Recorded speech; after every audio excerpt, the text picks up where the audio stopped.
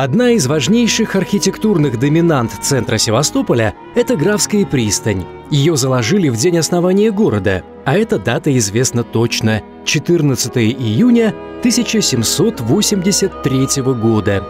Через четыре года юный город посетила императрица Екатерина II. К ее приезду пристань благоустроили и назвали Екатерининской. Но у пристани в городе было другое название. Все ее звали просто «Графская пристань». Дело в том, что командовавший Севастопольской эскадрой на заре истории нашего города граф Марко Войнович обычно у этой пристани садился в шлюпку и отправлялся на корабли. Но адмирал Лазарев, тем не менее, всегда называл пристань только официально – Екатерининская, так как считал, что граф Войнович никогда не заслуживал, чтобы великолепная эта пристань называлась его именем – было бы слово «екатерининское» покороче и легче в произношении, чем «графское», народ бы привык к нему, и было бы у пристани сегодня другое название.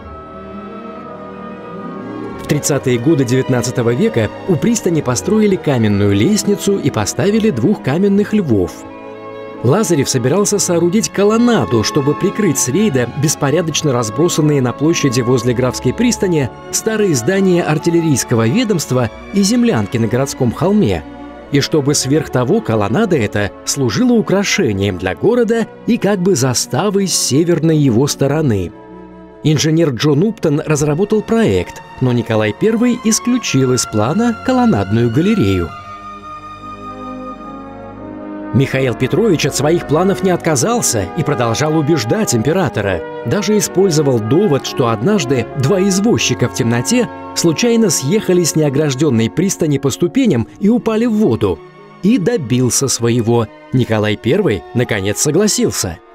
Построили не только колонны, но и каменных львов перед лестницей разместили, и четыре мраморные статуи в нишах поставили, по две со стороны города и моря – но сегодня ниши со стороны города пустуют.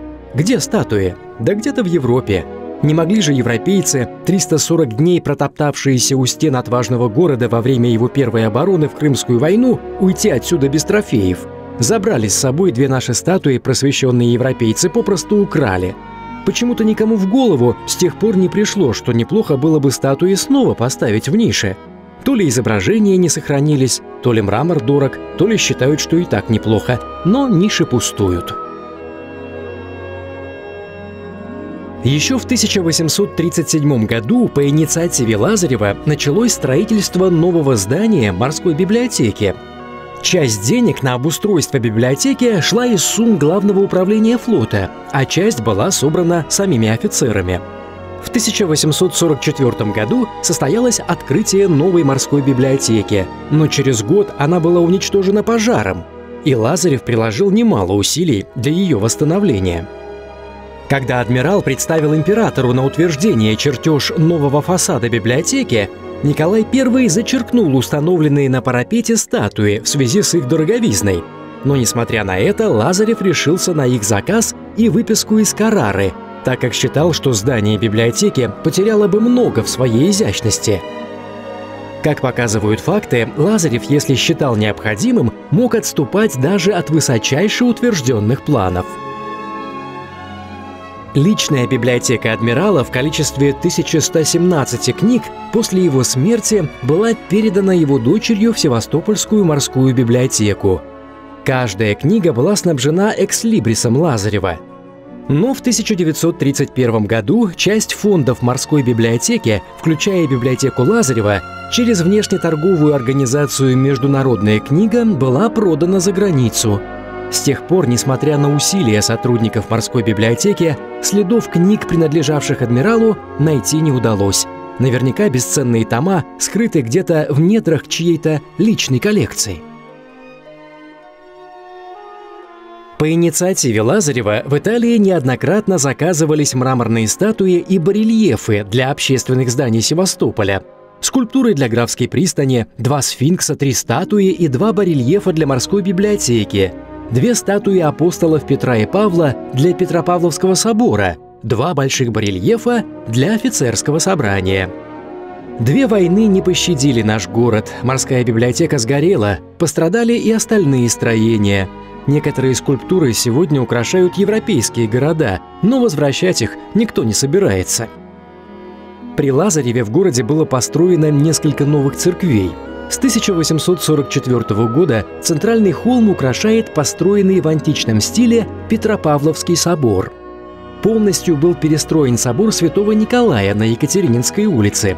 Сейчас на этом месте находится дом офицеров Черноморского флота. А вот небольшой храм архистратига Михаила, открытый как временный, пока шло строительство собора Святого Николая, действует до сих пор – при Михаиле Петровиче начали возводить Владимирский Адмиралтейский собор на Центральном холме, в котором адмирала потом и похоронили. По инициативе Лазарева в Севастопольском городском водопроводе произвели замену глиняных труб на чугунные, отлитые из собранного в черноморских портах чугунного лома – это позволило существенно снизить расходы на эксплуатацию водопровода, присоединить дополнительные источники воды и создать новые линии водотоков. При Лазареве в Севастополе были проложены дороги и тротуары по главным улицам. На момент вступления Михаила Петровича в должность военного губернатора в городе было всего два казенных учебных заведения, а кроме того городская буржуазия содержала несколько частных классов и пансионов – в 1833 году открылся первый в городе пансион для благородных девиц. Позднее открыли уездное и приходское училище, морское училище для детей-матросов. Лазареву удалось добиться постройки нового двухэтажного здания морского госпиталя – когда стало известно о целебных свойствах ила Херсонесского озера под Севастополем, адмирал постарался использовать столь драгоценные открытия для облегчения страждущего человечества. Возле озера были поставлены палатки, где работал медик. Несколько больных согласились провести на себе опыт. Результаты опытов были обнадеживающими, и Лазарев обратился к императору с просьбой передать это озеро в ведение Севастопольского морского госпиталя и получил на это высочайшее соизволение. Позднее Лазарев ходатайствовал перед министром внутренних дел о сооружении на озере грязи-лечебницы. В 1842 году Михаил Петрович обратился к императору Николаю I с просьбой разрешить построить здание благородного собрания – его также называли морским собранием, собранием флагманов и капитанов. Строить собирались на деньги, оставшиеся от приобретения призов в последнюю войну с Турцией. Разрешение от императора было получено. Выбирать место для постройки Лазареву помогал Владимир Алексеевич Корнилов. Он даже сделал наброски здания. Любили адмиралы Севастополь.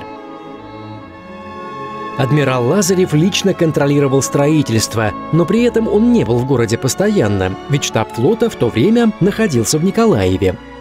Но он контролировал даже мелочи, хотя для него не было мелочей. Вот один из примеров, как адмирал решал вопрос о дверях строящегося морского собрания. Он просит направить ему чертежи дверей и указывает на необходимость выбрать дерево самое фигурное, чтобы двери из него вышли самые чудные – в следующем письме он просит «Уведомьте меня первым курьером, какие распоряжения сделаны насчет ясеневого дерева. Оно очень чудно, и двери получились бы самые удивительные». Когда здание было построено, очевидцы утверждали, что благородное собрание Севастополя неоспоримо может считаться одним из первых в России. Давайте на него посмотрим – в Крымскую войну в здании был главный перевязочный пункт, где работал доктор Пирогов.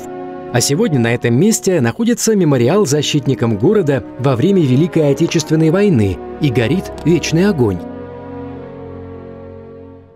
При Лазареве в Севастополе увеличилось число слободок. Кроме существовавших ранее корабельной, артиллерийской и каторжной, возникли новые – цыганская, миллионная, зеленчушка, щемелиха, карантинная и арсенальная – Тогда появились и бомборы. Увеличение количества слободок показывает рост населения Севастополя в то время. В 1839 году адмирал добился разрешения на постройку по берегам бухты специальных домиков с оборудованием для спасения утопающих. То есть первые спасательные станции в нашем городе – это тоже заслуга Михаила Петровича. Адмирал внимательно следил и за экономической ситуацией в Севастополе и Николаеве. В 1834 году продукты в нашем городе стоили гораздо дороже, чем в других населенных пунктах. В том числе и из-за того, что тогда в городе было мало частных лавок, и хозяева, пользуясь этим, взвинчивали цены. Для контроля ценообразования в Севастополе был создан и функционировал комитет для понижения цен на съестные припасы – Другие стороны экономической жизни города тоже не оставались без внимания Лазарева. Например, такса для извозчиков представлялась ему как военному губернатору на благо рассмотрения и утверждения. Деятельность Михаила Петровича по строительству Севастополя была высоко оценена современниками. Один из них писал так.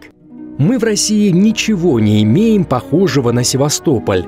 Это не столица, не губернский город и даже не уездный, но он примечен как сама столица. Улицы широкие, прямые, правильно разбитые. Церквей мало, но какие есть изящные. По улицам деревья, во дворах сады. Сам Лазарев писал «Севастополь – любимое место, потому что все там мною началось, и работ там производится очень много». В 1855 году один из английских офицеров, глядя на развалины Севастополя, написал домой «Ум не может нарисовать себе что-либо равное по красоте тому, чем был этот город. Мне кажется, это место, где любой хотел бы жить и умереть». То, о чем мы рассказали, это далеко не полный перечень дел Михаила Петровича Лазарева. Этому удивительному человеку удавалось практически все, за что он брался. А ведь он был еще и военным губернатором Николаева. Этот город тоже преобразился под его руководством. И все-таки основная его должность – главный командир Черноморского флота и портов. Лазарев не только стал одним из великих строителей Севастополя, он сделал Черноморский флот лучшим парусным флотом мира. Как он все успевал, как у него все получалось – вот бы сегодня адмирала Лазарева снова в Севастополь. Как же такие люди нужны Отечеству? А ведь Михаил Петрович прожил всего 64 года. То, что сделал адмирал Лазарев для Севастополя, какими методами он добивался результата, не может оставить равнодушным. Особенно в наши дни, когда в управлении Севастополем столько проблем – когда видишь, как буксуют многие решения властей, как пришлые чиновники зачастую пытаются направить развитие города совсем не туда, куда хотят горожане. У русских популярны слова «Сталина на вас нет», а в Севастополе хотелось бы сказать иначе «Лазарева на вас нет». Михаил Петрович Лазарев – это именно тот человек, которого остро не хватает сегодняшнему Севастополю. Именно его портрет должен висеть в кабинетах чиновников, но не просто на показ – Люди, обладающие властью, должны искренне работать так, как работал великий адмирал.